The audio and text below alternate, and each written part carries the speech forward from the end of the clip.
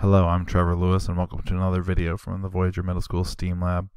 Um, in this video I'm going to show you in Inkscape how to use blur and opacity to add some more subtle things to your vector art.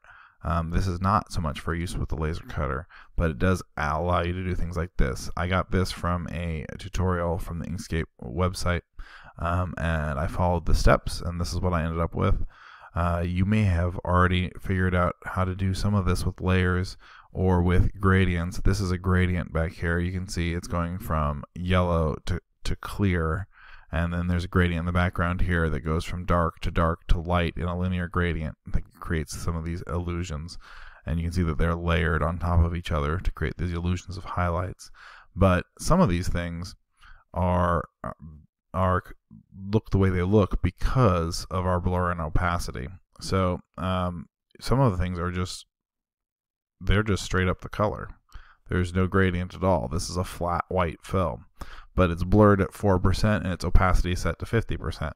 If I turn the opacity back up to 100%, you could see that it's a little less subtle.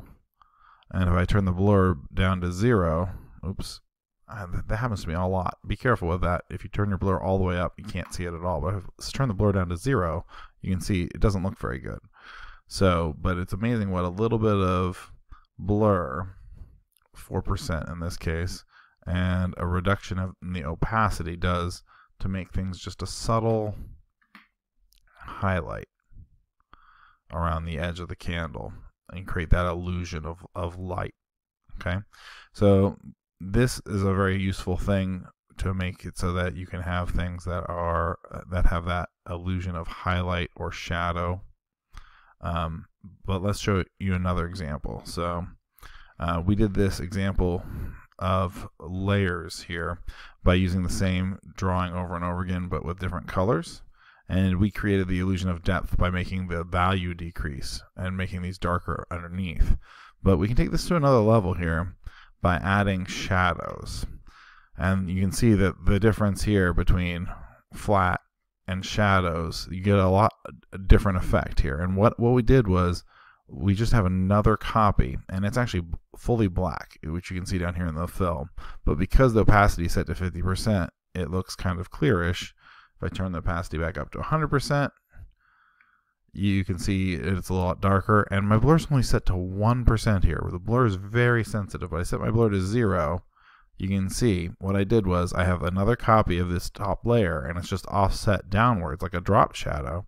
And then all I have to do is blur it just a little bit and I get a pretty good effect. Um, and I decided to turn the opacity down because once I added a few shadows um, the shadows start to add with each other because they're layered on top of each other. So I actually have a couple of shadows. I didn't shadow all the way down because it was getting too dark, but it adds a nice layer and an effect. So in order to do this, what you're going to do, let's draw a shape. I'm going to start with a circle. It's very blue.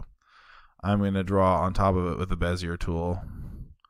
And, and I'm just drawing with straight clicks right now and let's make this one filled in with some other color and we'll set the stroke to none. So you can see very stark right on top. So to get this window open what you do is you go to object and you can choose fill and stroke. It's also shift control F on the keyboard and then this window should pop up. If it pops up over the top you can dock it over here. My opacity is right here. It's set to 100% so I can just I can click on it and it sometimes it'll click and drag and I can see what it'll look like. If depending on how fast your computer is, this could be a drag on your system though.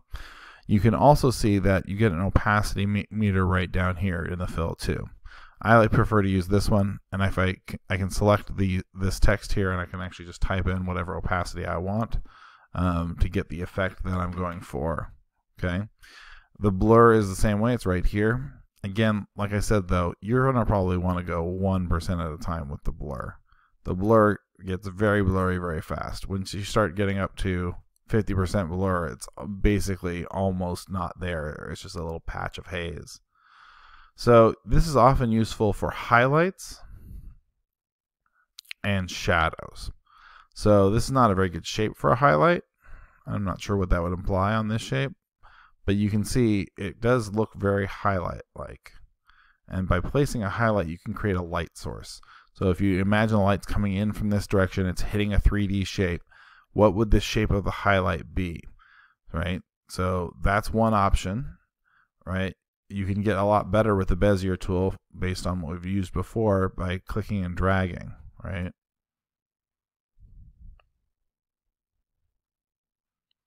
And it really depends on what style you want. If you're going for like an anime style, you would want nice crisp edges, but you could turn down the opacity, right? If you wanted, and you can see, you can start to see the blue come through a little bit. But in a more realistic style, you might need a little bit of blur. And you can sort of just dial it into however much you want. You get very nice subtle effects. Okay. So there is a highlight. Let's turn this guy into a shadow here Here's all you have to do for that is just switch the color. Now it's a shadow. Okay. So what I'd like you to do is I'd like you to do at least I would like you to add some shadows to your layers project. Um, if you want a challenge, follow one of the tutorials and use blur and opacity. You can do this one. You can do the rocket ship. You can do the um, the teacup, use some blur and opacity, add some shadows and highlights, make your vector art more realistic.